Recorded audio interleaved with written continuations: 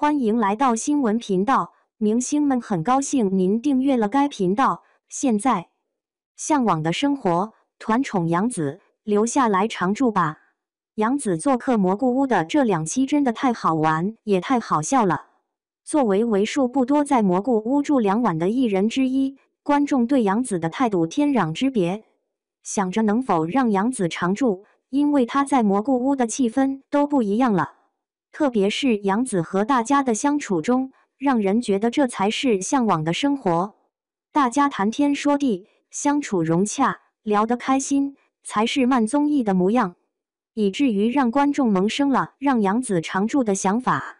何炅和黄磊对杨子十分照顾，到了蘑菇屋几乎没有做太多重活，甚至还跟张艺兴他们一起去游河，种树这个环节直接忽略了。可见，无论是观众还是蘑菇屋都很喜欢杨子，都希望杨子多来几次。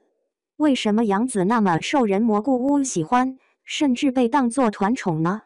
杨子性格外向，而且很有幽默感。在节目录制前，坊间就有传闻说杨子和张艺兴谈恋爱，所以一开始都带着吃瓜的心情看这一期。相处融洽，懂得营造看点。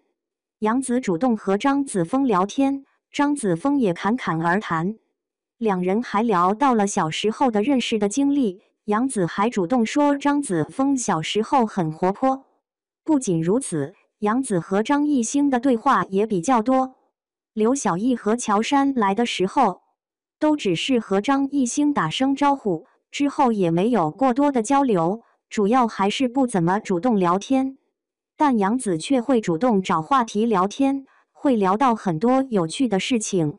在聊天的时候，大家才知道，原来杨子提前做了很多功课，知道聊什么样的话题。